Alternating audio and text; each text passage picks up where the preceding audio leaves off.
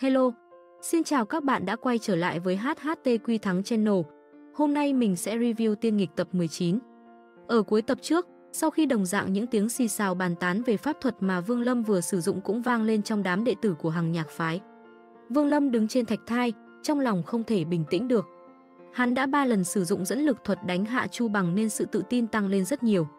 Hắn đảo mắt một cái nhìn đám người huyền đạo môn, mở miệng nói, tỷ thí hôm nay vẫn chưa kết thúc. Người tiếp theo của huyền đạo tông là ai?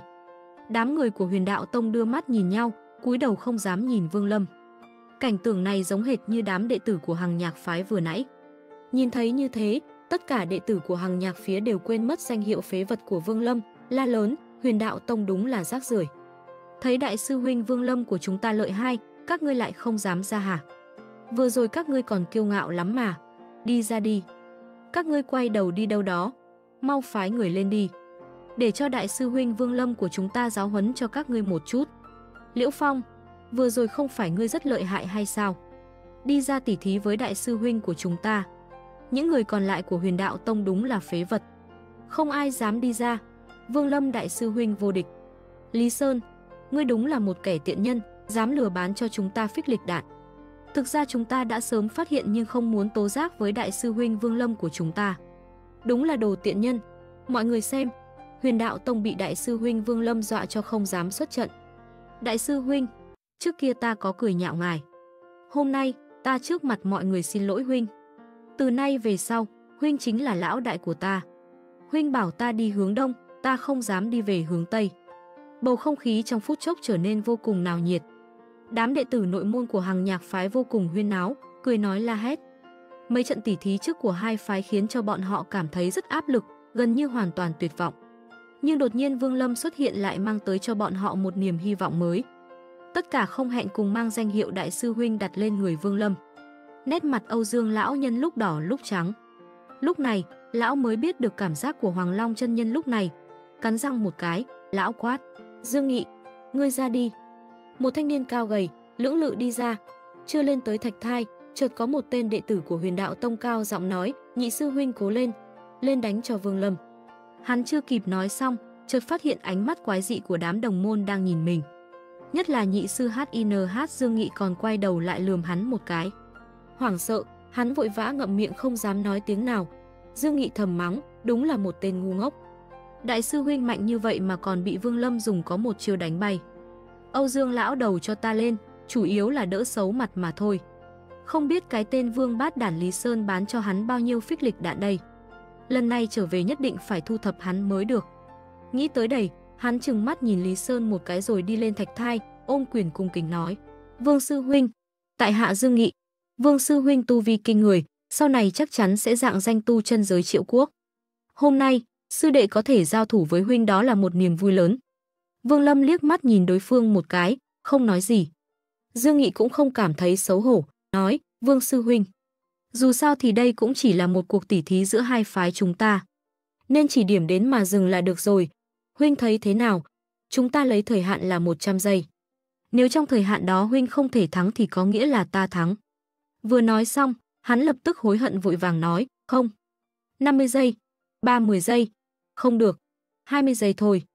Lúc này, đám đệ tử nội môn đứng dưới cũng mặc kệ, nhất định phải lấy lòng Vương Lâm cho bằng được.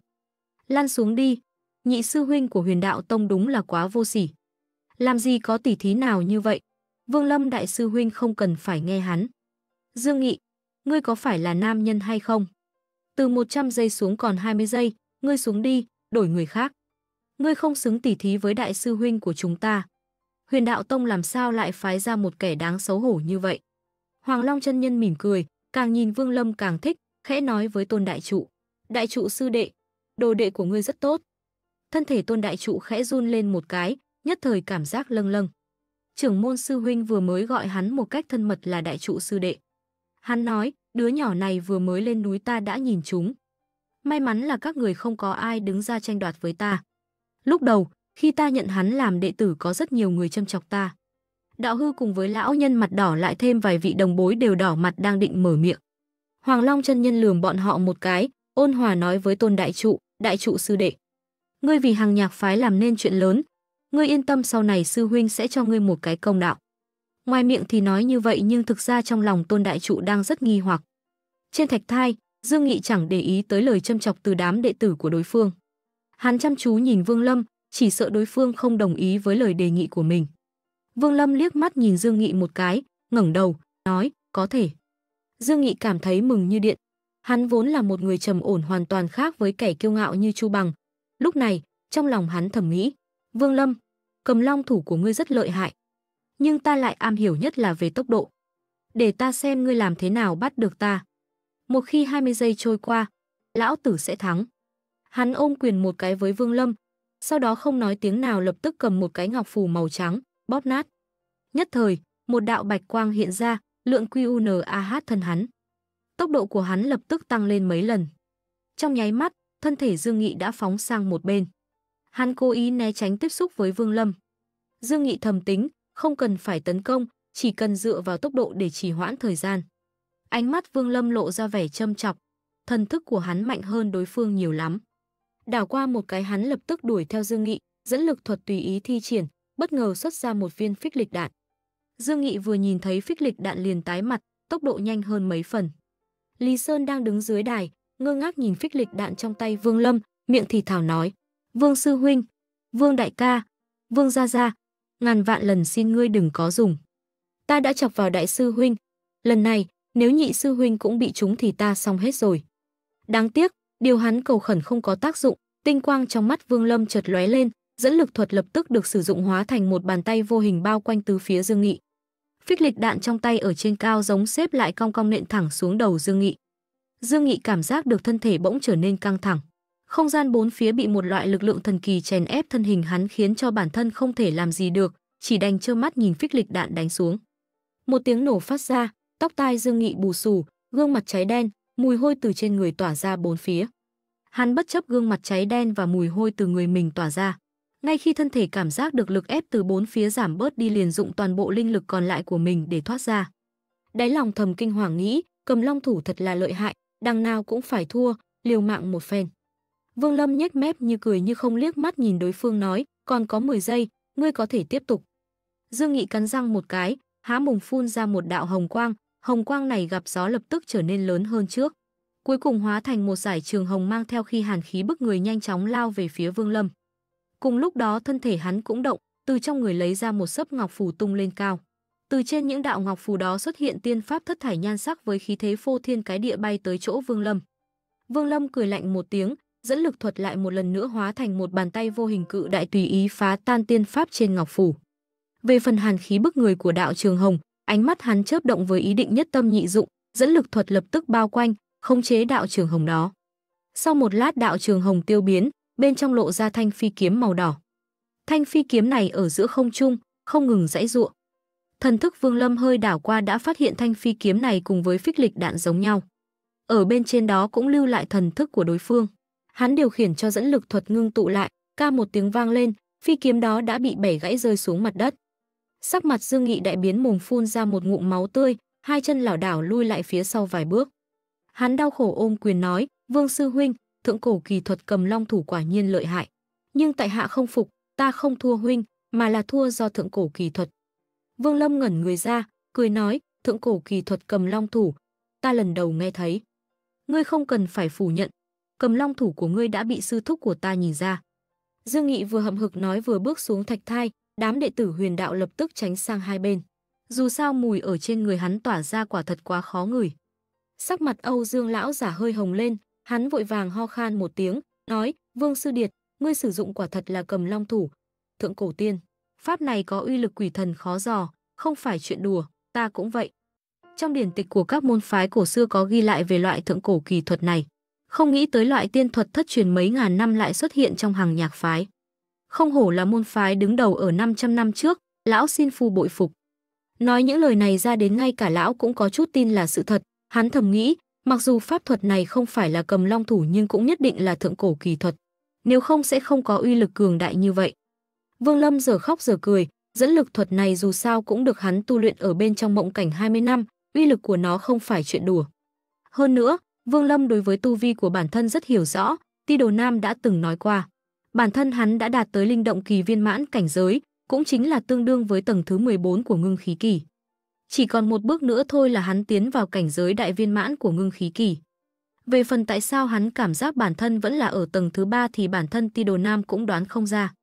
Vương Lâm từng nhắc tới việc này có lẽ liên quan tới Trương Sư Huynh giúp hắn chặt đứt duyên phàm trần với Ti Đồ Nam, nhưng hắn nghe xong thì tỏ vẻ khinh thường.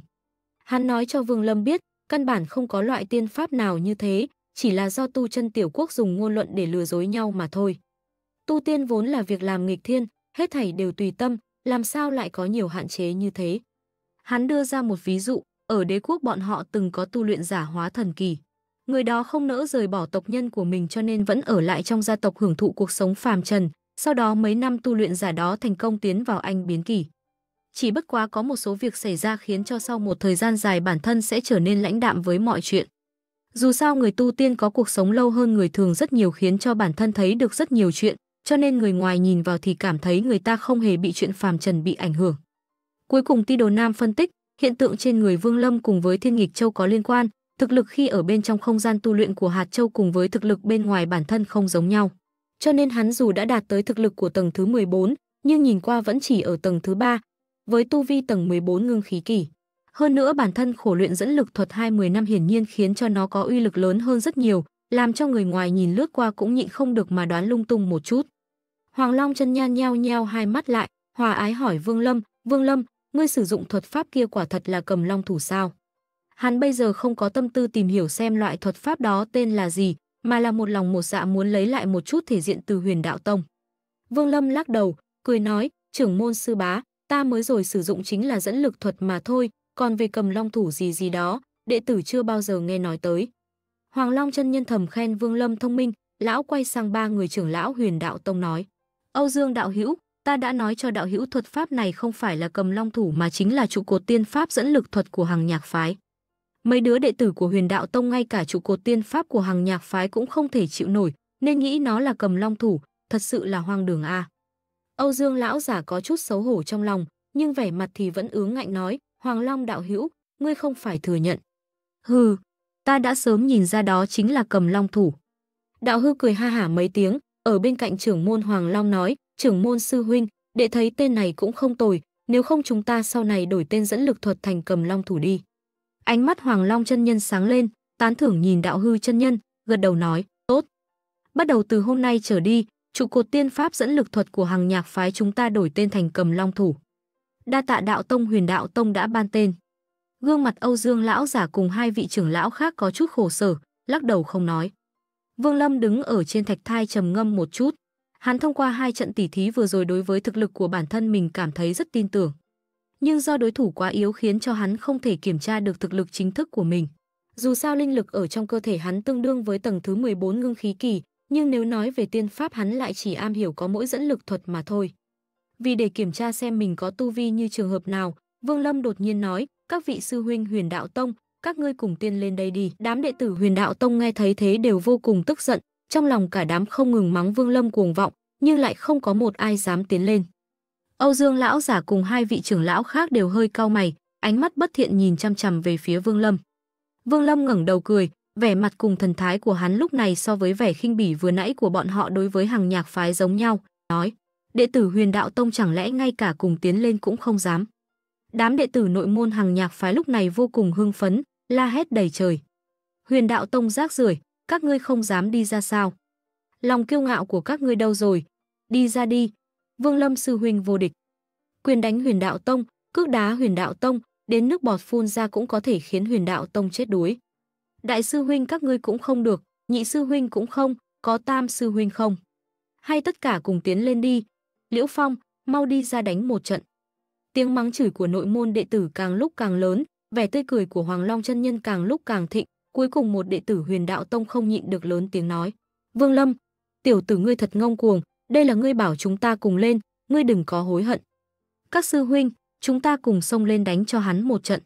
"Không sai, cùng tiến lên, đây là yêu cầu của hắn, chúng ta cũng không tính là phạm quy, trưởng lão, để chúng đệ tử cùng tiến lên giáo huấn hắn." "Trưởng lão, Vương Lâm tiểu tử này quá ngông cường, ngài để cho bọn đệ tử cùng tiến lên a, đám huyền đạo tông đệ tử đều xin chiến, Âu Dương lão giả cắn răng quát. Nếu hàng nhạc phái đã có yêu cầu như vậy, các ngươi hãy cùng lên đài đi. Lời này vừa nói ra nhất thời có ba đệ tử thượng đài, kéo theo đó là bảy tám người, cùng cùng là mấy nữ đệ tử. Đại bộ phận đệ tử huyền đạo tông đều tụ tập ở trên thạch thai. Cùng không biết người nào hô lên một tiếng, tất cả mọi người đều đồng loạt nắm giữ pháp bảo trên tay. Vương Lâm cũng không thèm để ý tới, hắn triển khai dẫn lực thuật hóa thành một bàn tay vô hình to lớn quét một vòng trên đài.